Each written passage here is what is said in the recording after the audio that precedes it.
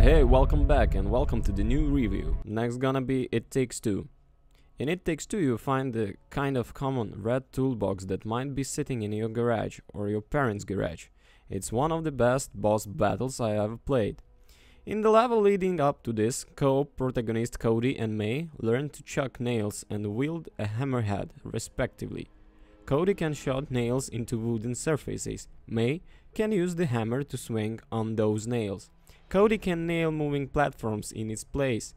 May can hop onto those platforms or wall jump between vertical surfaces that Cody can position with a strategic nail shot.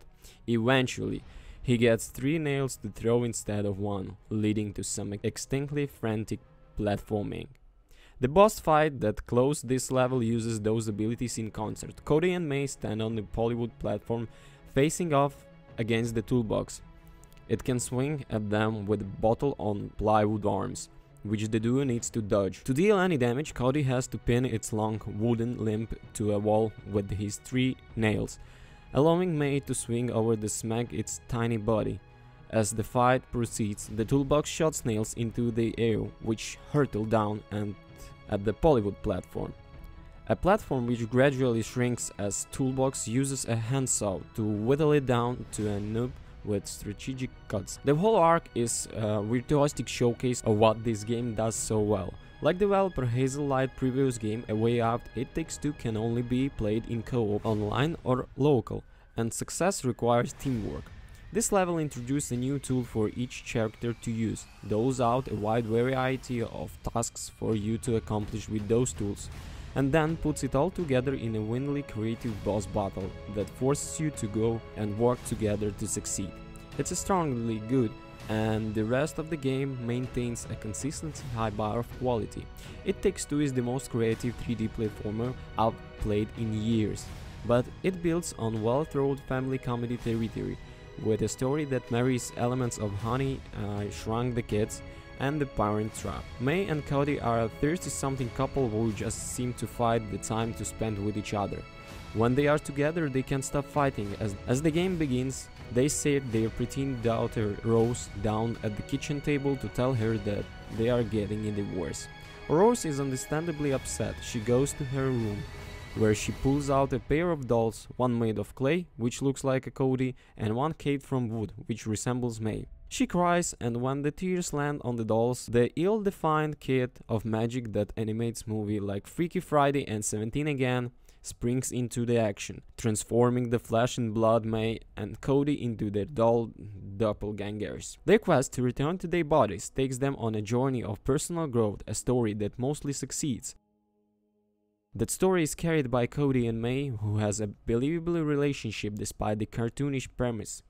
The dialogue is often corny, but the voice performances from the two leads is impressively casual. This is some of the most natural sounding small talk I've ever heard in a game. Their rapport helps sell the concept that is a couple that loved each other deeply but just haven't made time to prioritize each other.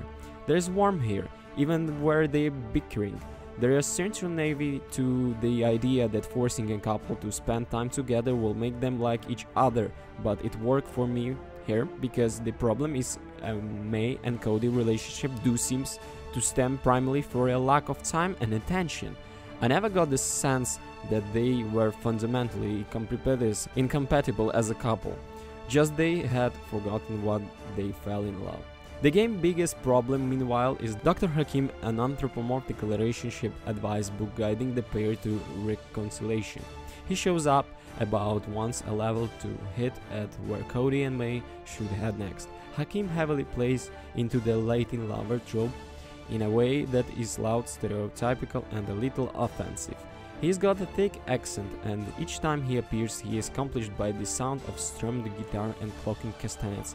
He's pretty obnoxious. My wife, who I played the game with for this review and I talked to saying, oh this terrible fellow again, each time he show up out split screens. We made it through this section on the first try and when I noticed that the noise matter has disappeared, I assumed that this brief once of stealth section had come to a close. But then we moved into a second shady area this one populated by a few dozen more dozing moles and substantially fewer rocks to help traverse them mulk. In the garden section, Cody has temporarily been granted the ability to turn into a plant. At certain key moments, and the ability comes into play here. I'm morphed into a moss, moving in time with May's movements, providing a rolling carpet of greenery to muffle her footsteps as we snuck past the moles. Eventually, we made it to the other side and the coast seemed clear, but then we heard the sound of the stamping mode in the distance, and then the split screen camera in front of us forming a Crash Bandicoot style run at the camera chase scene. As the chase scratched on, the camera shifted perspectives multi times, introducing new challenges each time. We escaped down a pit and found another mole who started by own appearance, fell its own back blocking our path downward. So we ground pounded the poor creature belly until it fell out of the bottom and we scrambled through one last bit of side scrolling. At the end we found a pair of rocks, settled up and hope on the next challenge. It's impressive stuff. It Takes Two is the best 3D platformer I've ever played since Mario Odyssey and like that game, it has a flavor for variety. You may ride a frog or a fly, a plane with the wings made from Cody Boxster hack and slash through a Diablo-style castle. Despite the downright wild amount of things to do, It Takes Two manage to handle every mechanic well. This is the second release from the Hazelight. Fantastic boss fights iterate on each area's mechanics in clever and surprising ways.